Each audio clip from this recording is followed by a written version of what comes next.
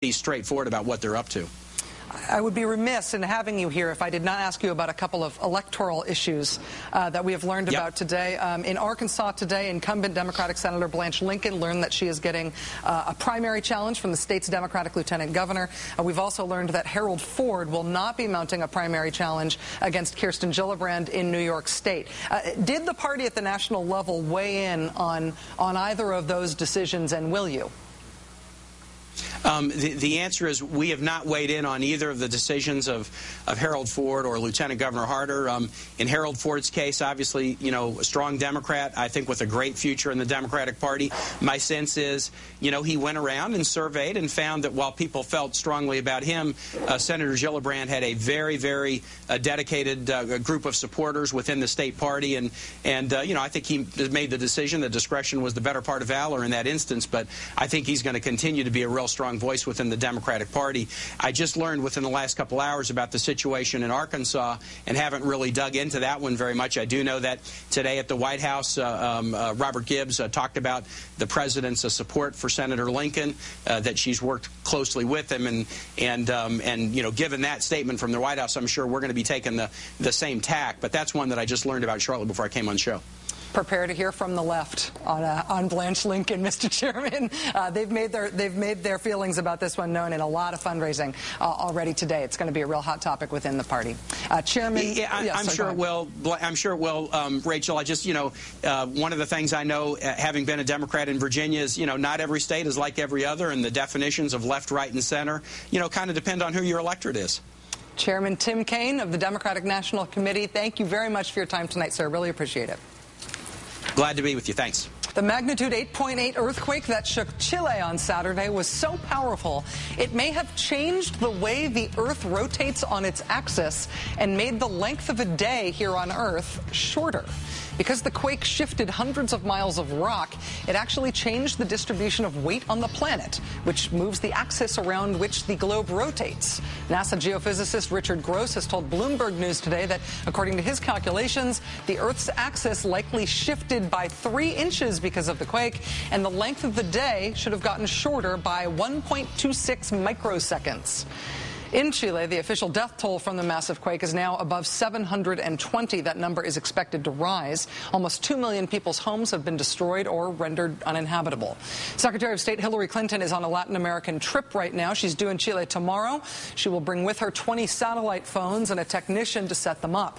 USAID is also mobilizing a field hospital, communication, support, and water purification systems at the request of the Chilean government. If you would like to donate to relief efforts via your mobile phone, uh, here are a few options. You can text the word Chile to 25383 to donate $10 to Habitat for Humanity, or you can send the word rebuild to 50555 to make a $10 donation to Operation USA, or you can text Chile to 20222 to donate $10 to World Vision. We will have more ways that you can help posted on our website at rachel.msnbc.com. If you would like to donate to relief efforts via your mobile phone, uh, here are a few options. You can text the word Chile to 25383 to donate $10 to Habitat for Humanity, or you can send the word rebuild to 50555 to make a $10 donation to Operation USA, or you can text Chile to 20222 to donate $10 to World Vision. We will have more ways that you can help posted on our website at rachel.msnbc.com. remember all the shouting and stalling and screaming that was last August when suddenly health reform was a communist plot to kill your grandmother? When the idea of death panels was a thing the President of the United States had to debunk? Well, the summer of 2009 might be making a comeback because the highly organized, well-funded groups responsible for much of the insanity of last August are apparently becoming re-energized by the fact that health reform really looks like it's going to pass now.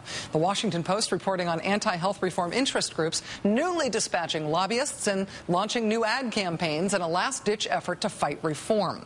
Americans for Prosperity, for example, tells the Post it bought $250,000 in TV ads last week and is planning more anti anti-reform ads and rallies this month. The health insurance lobby group, AHIP, says that it's making a big effort to fight reform now.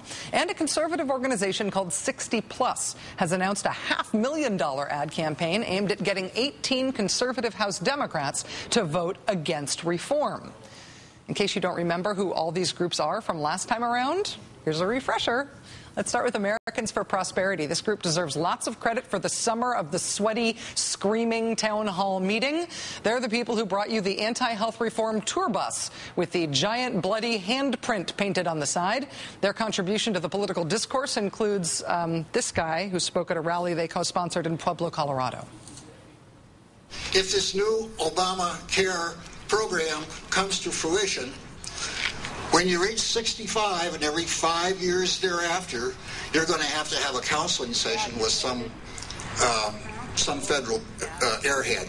Part of this process is called end of life counseling, and part of the end of life counseling can be an end of life order. What does that mean? End of life. Another word for that is death. Order. What's another word for that? A sentence. Now, bear, you folks review with me a little bit. As I recall, Stalin in 1920 issued about 20 million end-of-life orders for his fellow Russians. Pol Pot did it uh, during the Vietnam War. He ended issued about 2 million end-of-life orders. Adolf Hitler issued 6 million end-of-life orders. He called his program the final solution. I kind of wonder what we're going to call ours. The president of the group at whose event that man was speaking, uh, Americans for Prosperity, was a guest on this show twice last year after his organization initially called that video a fraud and denied that that speech was given at one of their events. Here's what Tim Phillips, the head of Americans for Prosperity, told me on this show about that speech and that kind of rhetoric having speakers at your event that. saying that Obamacare is like Pol Pot and, and, and I Holocaust. said that. Right, but your speakers have, and you're a organizing. speaker who was at an event that was co-sponsored by us. We right. do not control the podium. We, we do not control the podium. Not we denounce that kind of rhetoric, that's a bad idea. Not it has no place at our events, but we do not control the podium at the events that we sponsor. Tim Phillips also refused during the course of his appearances on this show to disclose who his funders are. But he did use this show as a platform from which to solicit more corporate funding for his organization.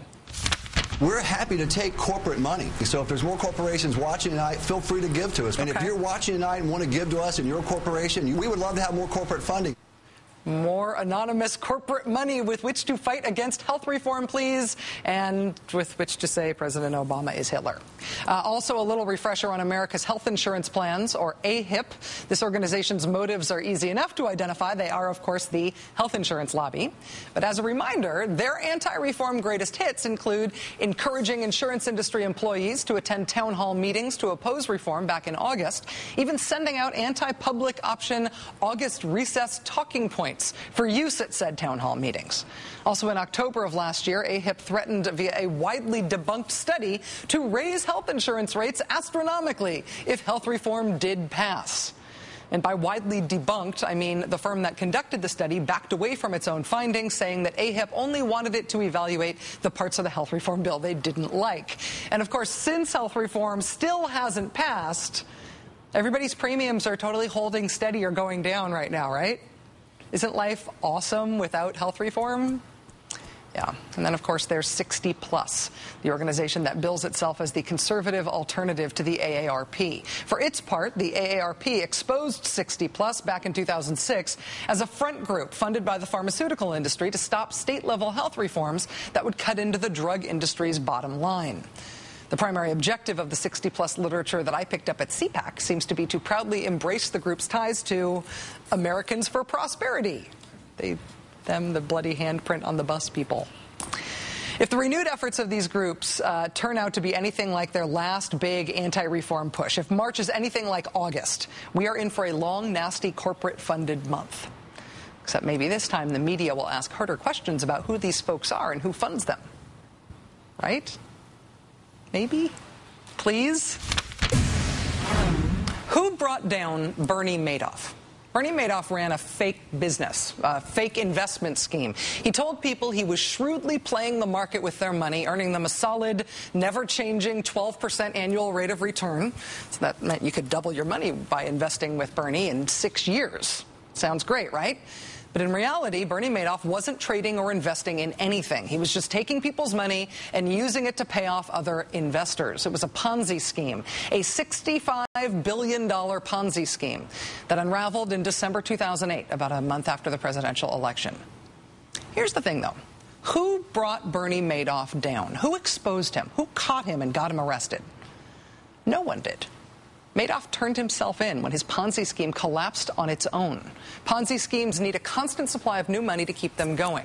When the economy had a stroke at the end of Bush's second term, there wasn't enough new money to, around